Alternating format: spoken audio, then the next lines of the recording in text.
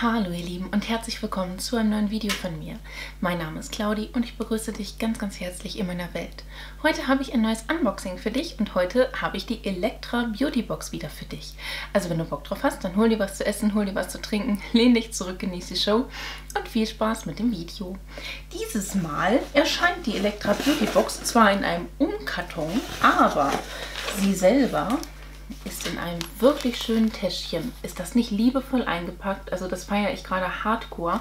Ich durfte ja schon die ersten beiden Boxen mit euch zusammen aufmachen. Das ist jetzt die dritte Box, die ähm, halt rausgebracht worden ist überhaupt. Ne? Und die bekomme ich in der Kooperation kostenfrei zur Verfügung gestellt, um sie halt hier einmal vorzustellen. Also vielen, vielen Dank an das liebe Elektra Beauty Box Team. Ähm, Genau, das ist eine erschwingliche Geschichte. Du hast hier nur, nur Full-Size-Produkte drin und die kostet ab 13,50 Euro pro Monat und pro Box in dem Sinne dann ja auch. Und äh, ja, ich mache in diesem Video auch eine Verlosung. Alles, was du dafür tun musst, um an der Verlosung teilzunehmen, steht unten in der Infobox. Schau da gerne einfach mal vorbei. Ich verlose ein individuelles Beauty-Paket, das habe ich letztens auch schon mal erwähnt.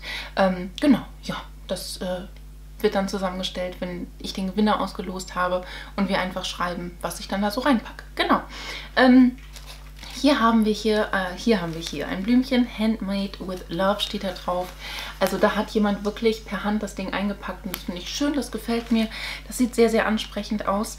Ähm, genau, wir haben sehr viel dekorative Kosmetik hier drin. Wir haben hier ähm, Produkte drin, einfach um sich mal was zu trauen. Das finde ich auch sehr cool. Also diesen Vibe, den die Box ausstrahlt, mag ich gerne. Deswegen habe ich auch heute wieder so etwas andere Lippen zum Beispiel. Und ich habe auch äh, kunterbunte Fingernägel, aber die habe ich in letzter Zeit immer.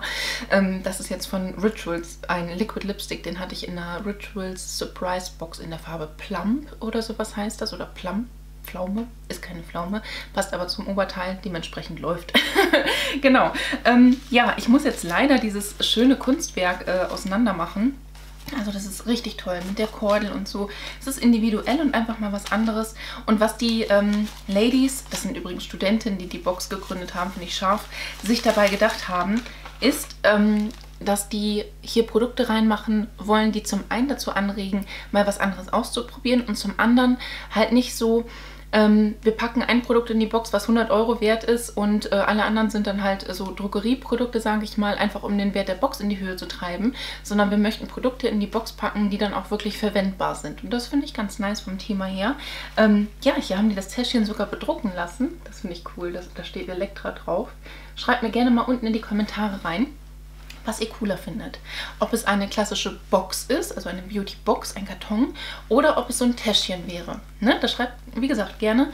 Ähm, ich mag beides sehr gerne. Ich verwende ja die Kartons, also die Boxen von den Beauty Boxen gerne als Versandkartons, deswegen ist es für mich praktisch. Viele verwenden die auch als Aufbewahrung, aber auch so ein Kosmetiktäschchen finde ich total super. Ne? Also das ist auch sehr praktisch, kann man gut gebrauchen. Ähm, ja, und wenn man das vor allem so abwechselnd hat, finde ich es noch besser. Dann kann man nämlich so ein bisschen Ne? Es ist individueller. Okay, ja, hier sind so ein paar Produkte drin. Ich suche schnell nach dem Heftchen, wo drin steht, was drin ist. Das habe ich hier. Ähm, genau. Ach, guck mal.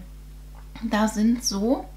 Ähm, ach, wie heißen die Dinger nochmal? Leute, helft mir auf die Sprünge. Wie heißt das?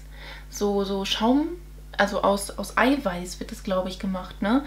Dann, dann aufgeschlagen und dann in den Backofen. Wie heißen diese Dinger nochmal? Ich weiß es nicht. Die kann man crunchen und so als Topping über Sachen drüber machen. Keine Ahnung. Macht man Zucker mit durch und so. Was ist in meiner Januar Elektra Box? Genau, hier sind Produkte aufgeführt und ähm, ich sammle ja die ganzen dekorativen Kosmetikprodukte aus den Boxen, die ich jetzt jeden Monat so bekomme. Das heißt, aus Januar habe ich jetzt eine Box, wo ich auch alles Mögliche drin sammle und am Ende des Monats setze ich mich dann hin und schminke daraus ein Fullface. Bin sehr gespannt, ob ich das auch hinkriege. Aber ich bin diesen Monat wirklich guter Dinge, weil wir richtig viel dekorative Kosmetik drin hatten. Gut, ja, äh, im Prinzip ist es ja auch, ne, ich bekomme so gut wie jede Box hier nach Hause, entweder in der Kooperation oder eben selber im Abo. Und deswegen habe ich da halt auch eine große Auswahl, ne? Sind wir mal ehrlich. Okay, mm, ja, dann nehme ich mal das erste Produkt raus. Das größte, was ich hier so habe, das ist von IDC Institute. Da hatte ich letztens auch eine Maske von, die mir recht gut gefallen hat. Ähm, ja, äh, eine Maske, Ginseng Collagen Facial Mask. Oh, ja, ich mag ja Masken, ne? Masken und ich, wir sind ganz große Freunde. Und das sieht sehr, ich weiß nicht, sieht so aus, als wäre das sehr ähm, arztmäßig, sehr medizinisch, Entschuldigung, angehaucht. Finde ich cool. Um, increase Skin Elasticity and make a vital skin. Also das macht die Hautelastizität besser, äh, erhöht das und macht eine vitalisierte Haut. Finde ich cool. Ähm, kommt aus Spanien. Kann ich vielleicht sogar noch in meine Maskenweltreise, die ich aktuell drehe, mit aufnehmen. Das wäre ja ganz cool, oder? Ähm, steht hier, hier. Zum Wochenbeginn am Montag gibt es viel zu tun. Fühlen Sie die aktive Energie des Ginseng-Extrakts mit Zweifachwirkung. Kollagen strafft und kräftigt die Haut. Ginseng wirkt stärkend und beugt Alterungserscheinungen vor. Ja, vielen Dank. Kann ich gut gebrauchen, definitiv.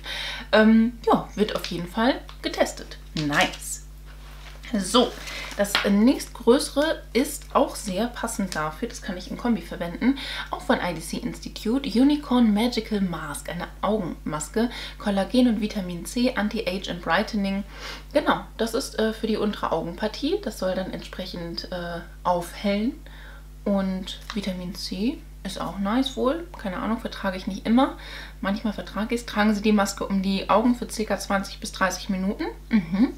Ja, ne? Das ist nice. Eine Unicorn Mask. Normalerweise habe ich ja äh, von Mizon die in diesem Pöttchen. Kann ich hier zeigen, habe ich hier gerade stehen, weil ich äh, nachher noch das nächste Maskenvideo machen werde oder einen Teil davon halt, ne? Ähm, Finde ich halt nachhaltiger, weil da hast du 16, 60 Stück drin, das heißt für 30 Anwendungen. Und wenn man überlegt, 30 Anwendungen hast du diesen Pott Müll, 30 Anwendungen von sowas hast du 30 davon Müll. Ne? Das ist halt irgendwo muss man oder wenn man irgendwo Verpackungsmüll einsparen möchte, muss man halt oder sollte man oder fängt man eigentlich automatisch eher klein an. Man kann nicht alles von jetzt auf gleich ändern. Ähm, ja, und das ist mit Hyaluronsäure, das ist ganz nett. Kann ich gut im Kombi verwenden. Doch. So, wir waren bei den Augen, wir bleiben bei den Augen. Da habe ich von Max Factor 2000 Kalor 2000 Calorie Curl Addict Rich Volume and Curl. Das ist eine Mascara die habe ich ja noch gar nicht auf dem Schirm gehabt, ne? Die habe ich so noch gar nicht gesehen. Finde ich ziemlich scharf. Die sieht hübsch aus. Also von Max Factor habe ich ähm, einen Blush, den ich un unglaublich feiere. Den hatte ich eine ganze Zeit lang auch hier auf meinem Schminktisch stehen, aber ab und an muss man ja auch mal durchtauschen. Ähm, und habe mich dann halt wirklich jeden Tag damit geschminkt und den fand ich auch oh, ultimativ gut. Die haben richtig guten Bronzer. Ja, aber sonst, ne? Damals habe ich eine ähm, Foundation von Max Factor verwendet, als ich jugendlich war. Das war dann so meins, das war so eine Zwei-Phasen-Foundation, eine ganz verrückte Geschichte, habe ich jahrelang gemacht. Aber ansonsten, jetzt so, ne, mit meinen 31 Jahren, habe ich gar nicht mehr so viel von Max Factor. Wow, die sieht ja witzig aus. Das ist so ein kleines, dickes, gebogenes Kunsthaarbürstchen mit sehr, sehr langen Borsten. Das sieht wirklich vielversprechend aus. Also das wird dann auch im Fullface vorkommen riecht nach Mascara. Und wenn ich ähm, mir die Wimpern mit sowas tusche, ne, dann nehme ich dieses gebogene nach oben und setze mir das wirklich ganz nah an den Wimpernkranz und ziehe das dann hoch. Ich habe jetzt natürlich getuschte Wimpern, das ist dann ein bisschen schwierig. Aber... Und ich bin ein bisschen weit weg vom Spiegel, ne? Hm. Aber ich meine, ne, ich mache jetzt eine Schicht drüber und da sehe ich auf jeden Fall, dass sich was tut. Also das ist jetzt nicht nur etwas, was äh, heftig aussieht, sondern ich kann mir wirklich vorstellen, dass die auch, wenn ich die solo tragen würde, gut was mit den Wimpern anstellen wird. Finde ich cool. Ne? Nice. Ja, auf jeden Fall. Nicht oft, dass man eine Mascara in der Box mit drin hat. Deswegen finde ich das cool. So, das waren jetzt schon drei Produkte und wir haben hier noch, ich glaube, drei weitere drin. Das erste, was ich hier rausnehme, das sieht fancy aus. Das ist ein Pinsel, aber nicht einer mit Borsten. Ähm, der kommt, also sieht mich so asiatisch von der Schreibweise her aus. Das scheint so ein Maskenpinsel zu sein. Guck mal, so, so silikonmäßig da oben dran, ne? Geil. Das finde ich echt geil. Steht hier im Heftchen? Professioneller Maskenpinsel. Das ist nicht schlecht. Mein professioneller Maskenpinsel ist eigentlich ein Foundation-Pinsel, den ich umfunktioniert habe quasi. Ja, äh, schon sehr interessant. Das das stelle ich mir auch so geil vor. Den werde ich auf jeden Fall heute Abend nehmen, wenn ich mir eine Maske auftrage. Kann man nämlich schön dann das aufnehmen, dann so richtig professionell das so. Ne? Nicht nur für YouTuber ist es cool, sondern auch für dieses Self-Feeling at home, wenn man einfach zu Hause sich ein bisschen fancy fühlen will. Da mag ich sowas. Ich glaube, sowas hatte ich auch nicht. Sowas habe ich in ganz klein als ähm, Lidschattenauftragepinsel, den ich jetzt aber gerade ad hoc hier. Doch. Ne, den ich jetzt nicht auf den ersten Blick bei meinen Pinseln, doch. Denken und reden gleichzeitig ist auch ein Traum, ne? Der kommt von Morphe. Siehst du? Das ist auch so einer. Das ist quasi das Baby. Das ist die Mama. Finde ich scharf. Damit kann man nämlich auch richtig gut Pigment aufs Auge bringen. Naja, das musst du damit jetzt hier nicht machen, ne? Du arbeitest sehr filigran mit der Spitze könnte das was werden. Aber nein, ich verwende den äh, zum Maske auftragen. Finde ich cool. Richtig geil. Also für mich als Maskenjunkie echt voll das geile Produkt. Okay, ähm, dann habe ich hier ein Stück drin. Genau, die haben auch geschrieben, wenn die ähm, halt so Produkte drin haben, die nicht Full-Size sind, dann ist es quasi so ein Goodie, so ein Add-on. Das steht auch nicht im Heftchen mit drin, das ist nicht preislich aufgeführt, beziehungsweise hier steht plus Geschenkseife, ne? das steht hier dann unten drin. Und ja, das ist einfach ein Stück Seife. Und zwar von One for You. Sagt mir nichts die Marke. Finde ich aber jetzt in der aktuellen Situation ganz nice. Ich finde, verwende sowas tatsächlich sowohl, hallo, danke, sowohl zum Händewaschen als auch für meine Pinsel zum Waschen. Deswegen für mich ein super Produkt. Riecht angenehm. Leicht blumig. Gleich muss ich niesen. Kennt ihr das, wenn ihr an so Seifensachen riecht oder ein Parfum? Oh.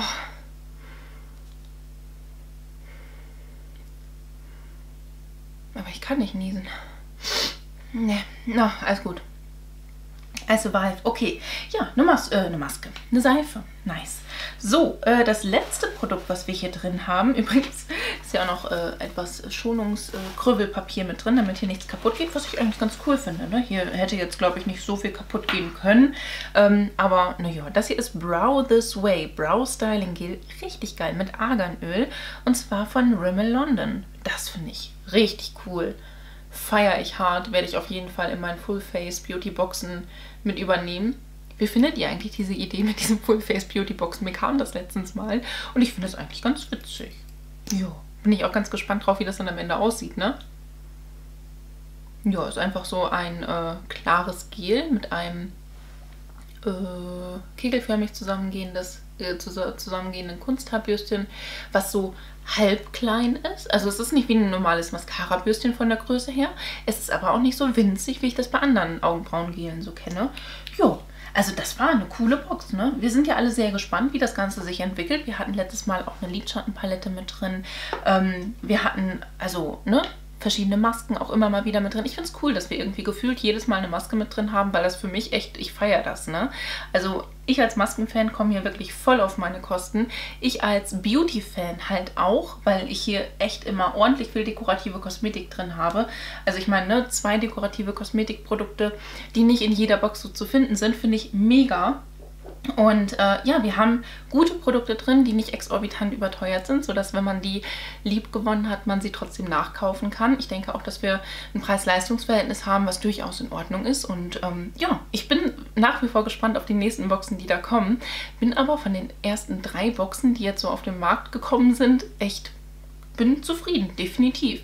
Schreibt mir gerne eure Meinung dazu unten in die Kommentare. Ich weiß nämlich, dass das Team von Elektra Beauty Box auch gerne mitliest. Das heißt, wenn da auch konstruktive Verbesserungsvorschläge drin sind, Wünsche oder irgendwelche Anregungen von eurer Seite, das wird auch wirklich sich zu Herzen genommen. Dementsprechend schreibt mir das gerne unten rein und ähm, ja, genau, dann teilen wir das einfach miteinander. Meine Meinung habt ihr gehört. Ich bin auf eure gespannt und ja, wenn euch das Video gefallen hat, dann lasst mir doch sehr, sehr gerne einen Daumen nach oben da. Würde ich mich mega drüber freuen. Ansonsten wünsche ich dir einen wunderschönen Tag, einen wunderschönen Abend. Lass es dir ganz einfach gut gehen. Fühl dich ganz doll gedrückt von mir. Ich verlinke dir mal hier oben meine Playlist mit den ganzen Beautybox-Unboxings. Hier unten meinen neuesten Upload. Auf dieser Seite noch ein Video von mir. Und hier oben kannst du, wenn du möchtest und es vielleicht noch nicht getan hast, mich sehr, sehr gerne einmal kostenlos abonnieren. Ich würde mich echt von Herzen drüber freuen. Lass es dir gut gehen und hoffentlich bis zum nächsten Mal. Ciao!